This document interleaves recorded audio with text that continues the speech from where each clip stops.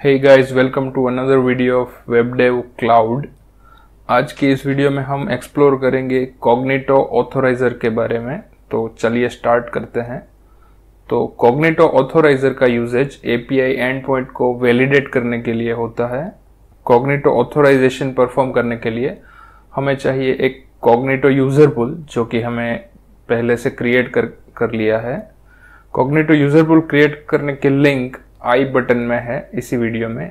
In case you don't know how to create Cognito user pool और next हमें चाहिए एक एपीआई गेटवे जिसमें हम अपना एंड पॉइंट क्रिएट करेंगे, और उसको कोई एक लेमड़ा फ़ंक्शन से अटैच करेंगे फॉर द सैंपल रिस्पॉन्स तो चलिए क्रिएट करते हैं एक नया एपीआई गेटवे तो यहाँ से एपीआई गेटवे सर्च कर लेते हैं, और न्यू टैब में ओपन कर लेते हैं।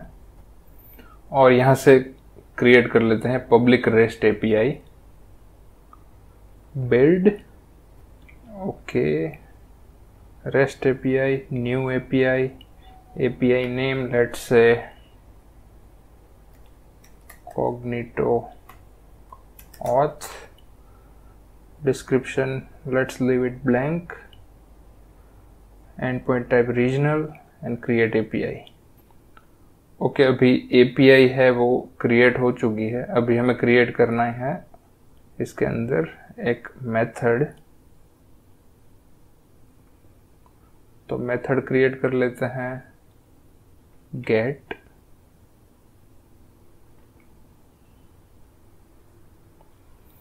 और इसके साथ अटैच करने के लिए एक लेमड़ा फ़ंक्शन जो कि अगेन यहाँ से सर्च में जाके lambda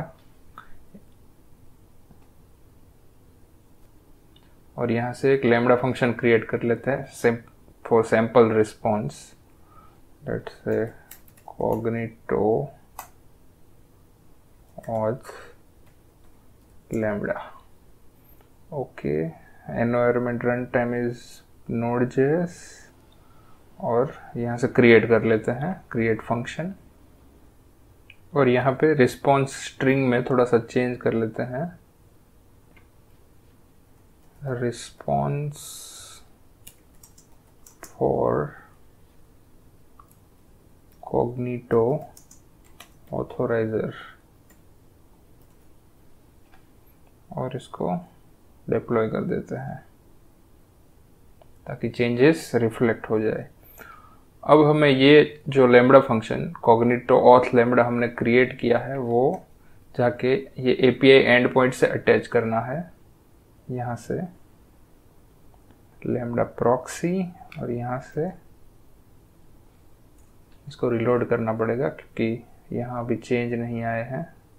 let's reload this okay और लेमड़ा प्रॉक्सी और यहाँ से सेव कर लेते हैं।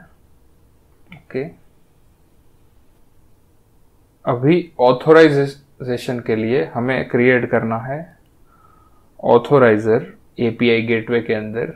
तो इसके लिए हमें जाना है from left panel we need to choose authorizers और यहाँ से हमें क्रिएट करना है ऑथोराइजर ऑथोराइजर का नाम रखते हैं कोग्निटो ऑथ और टाइप दो टाइप अवेलेबल है बेसिकली लेमडा और कॉग्निटो तो अभी के लिए हम सिलेक्ट करते हैं कॉग्निटो और यहाँ यहाँ पे हमें कॉग्निटो यूज़र पुल का नाम अटैच करना है, जो कि है sample user pool token source जो कि ऑथोराइजेशन का जो टोकन है, वो कौन से हेडर में जाएगा? तो हेडर का नाम है ऑथोराइजेशन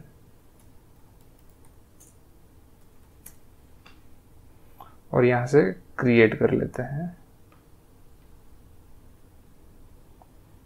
अभी ये ऑथोराइजर क्रिएट हो गया है हमारे एपीआई गेटवे के अंदर। इसको अटैच करना है हमारी, हमारे एंड पॉइंट से बेसिकली सो रिसोर्स और यहाँ पे गेट में। अभी यहाँ पे अगर हम देखें, ये जो हमारे एंड पॉइंट है तो यहाँ पे ऑथोराइजेशन नन दिखा रहा है। जैसे ही हम अपना ऑथोराइजेशन अपडेट करेंगे, यहाँ पे कॉग्निटो यूज़र पुल शो करने लगेगा। तो इसके लिए चले जाते हैं गेट मेथड में। और यहाँ पे मेथड रिक्वेस्ट में से जाके ऑथोराइजेशन में हमने जो ऑथोराइजर क्रिएट किया है, वो अटैच कर देते हैं कॉग्निटो ऑथ जो कि कॉग्निटो ऑथोराइजर है। और यहाँ से अपडेट कर देते हैं।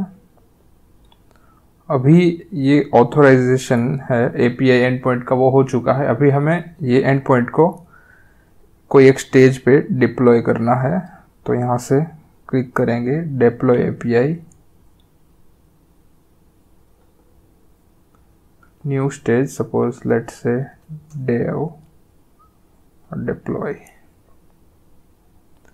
तो हमें ये मिल गया है इनवोक यू आर एल तो यहाँ से कॉपी कर लेते हैं और पोस्टमैन में जाके पेस्ट कर देते हैं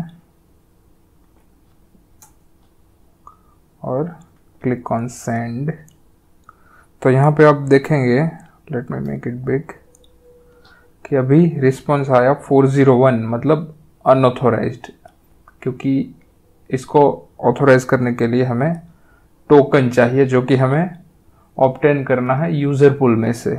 यूज़र पुल के यूज़र से बेसिकली तो इसके लिए हमें चले जाना है फिर से कॉन्सोल में, और कॉन्सोल में जाके हमें सर्च करना है यूज़र पुल जो कि हमने क्रिएट किया है, ये सैंपल यूज़र पुल और इसमें ऐप इंटीग्रेशन में हमने जो क्लाइंट क्रिएट किया है, उसके होस्टेड यूआई में चले जाना है बेसिकली साइन अप और साइन इन के लिए, ताकि इसके एंड में जो हमें यूज़र मिलेगा, उसकी हेल्प से हमें एपीआई एंड पॉइंट को एक्सेस करने के लिए टोकन मिलेगा।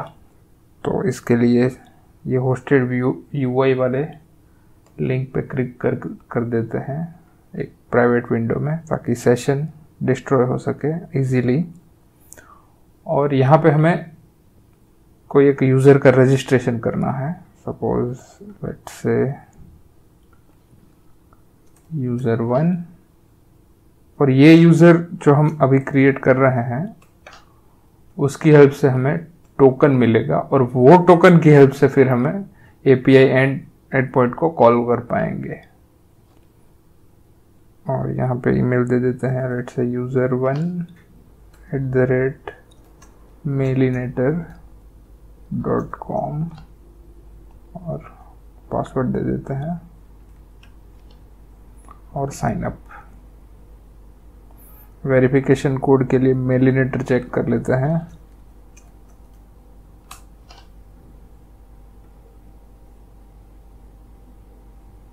पब्लिक इन बॉक्स में user one okay here is our verification code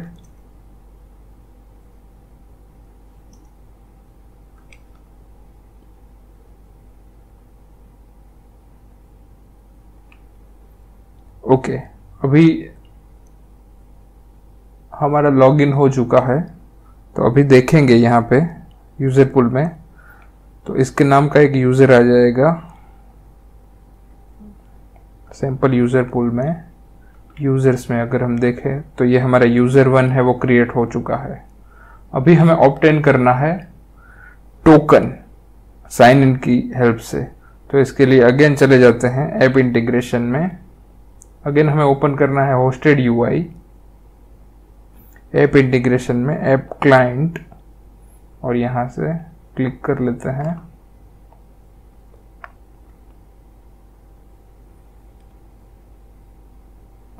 okay अभी ये बंद करना पड़ेगा।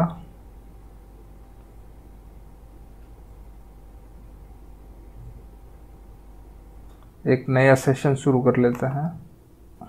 और यहाँ पे हमें करना है साइन इन और यहाँ पे मुझे कुछ चेंज भी करने हैं ताकि टोकन मिल सके। कॉग्निटो यूज़र पुल क्रिएट करने वाली वीडियो में हमने देखा था कि अगर हमें टोकन ऑप्टेन करना है तो हमें यूज़र पुल में इम्प्लिसिड ग्रांट वाला सेटिंग है, वो एनेबल करना पड़ेगा। तो देख लेते हैं कि वो एनेबल है या नहीं। तो इसके लिए चाहते हैं क्लाइंट में, और यहाँ पे अगर हम देखें ऑथ ग्रांट टाइप्स में तो ऑथोराइजेशन कोड ग्रांट यानी कि कोड साइन इन के एंड पे हमें कोड मिलेगा। और इम्प्लिसिट ग्रांट मतलब साइन इन के एंड पे हमें टोकन मिलेगा। तो दोनों ही टाइप एनेबल है। तो उसके लिए हम यहाँ पे चेंज कर लेते हैं from code to token enter और अब हमें यहाँ पे साइन इन करना है using user one that we just created test three four okay तो अभी हम, हमें यहाँ पे मिल रहा है आईडी और एक्सेस टोकन तो इसको हम कॉपी करके बेसिकली आईडी टोकन वो है जिसमें यूज़र रिलेटेड सब इन्फॉर्मेशन रहती है। यहाँ पे जेडब्ल्यूटी में पास हुआ है तो यहाँ पे सब दिखा रहा है उसके रिलेटेड इन्फॉर्मेशन जैसे कि ईमेल है एयूडी है एट्सेट्रा तो अभी ये हम कोई एडिटर में पेस्ट कर लेते हैं। लेट्स से और यहाँ इसमें से आईडी टोकन एक्सट्रैक्ट कर लेते हैं। तो ये हो गया हमारा आईडी टोकन बाकी डिलीट कर देते हैं इस एक्सेस टोकन और बाकी और। अभी इसको हम कॉपी कर लेंगे और पोस्टमैन में, जो कि ये जो रिस्पॉन्स है वो अनऑथोराइज था क्योंकि हमने, हमें, हमने ये जो डेव स्टेज है उसमें ऑथोराइजेशन सेट कर दिया है तो इसके लिए हमें ऑथोराइजेशन में जाके let me make it small यहाँ पे बेयर टोकन पास करना है, ताकि इसका रिस्पांस हमें मिले।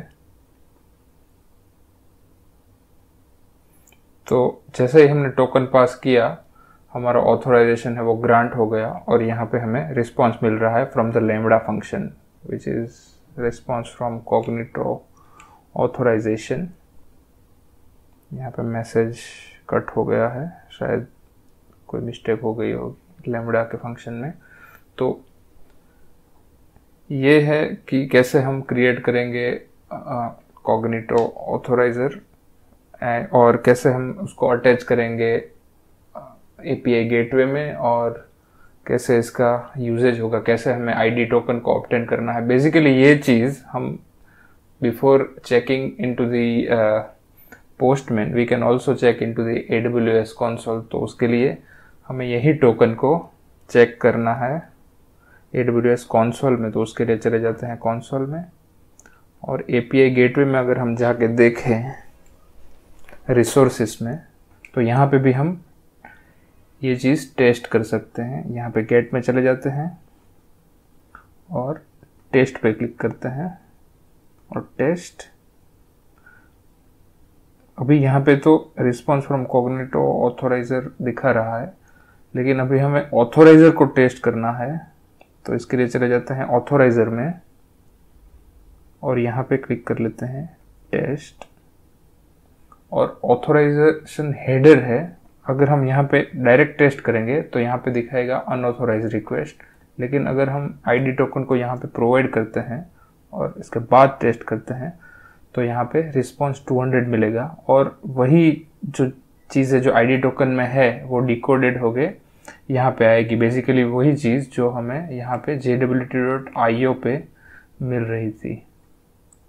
बेसिकली जो पे लोड है वो. तो वही चीज़ हम यहाँ पे भी टेस्ट कर सकते हैं। अगर हमें कोडिंग ये साइड या किसी और चीज़ में अगर इम्प्लीमेंट करना है तो उससे पहले अगर हमें टेस्टिंग करना है और हमारा जो आईडी टोकन है वो वैलिड है या नहीं तो उसके लिए डायरेक्ट यहाँ पे भी चेक कर सकते हैं। तो ये था वीडियो कोग्निटो ऑथोराइजेशन के बारे में। होप ये इन्फॉर्मेशन आपको अच्छी लगी हो। तो मिलते हैं नेक्स्ट वीडियो में। Till then have a nice time